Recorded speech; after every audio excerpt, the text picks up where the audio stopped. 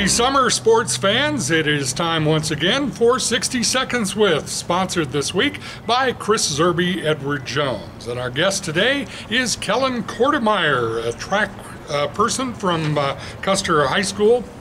She took second in both the shot put and discus at the Class A state track meet in Spearfish last week, and she is here as our athlete of the week. This is her fifth time, and so we've got some new questions for her. We're going to find out a little bit more about Kellyn in the next 60 seconds. Are you ready to go? Yeah. All right, here we go.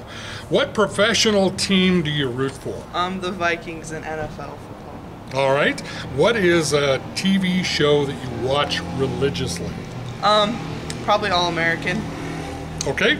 Um, do you have a favorite quote? Um, yeah, it's I came, I saw, I conquer.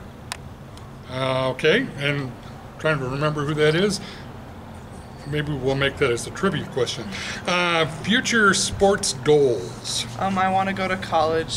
Um, and pursue a major in um, athletic directory or um, teaching, and then um, I want to play. I mean, I want to do track and throw.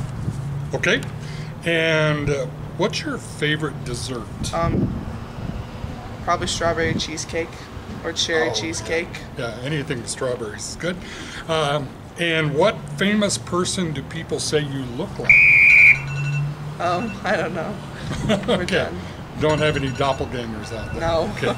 All right. Well, our time is up. Thank you so much for coming in and enjoy your summer. Thank you. I will.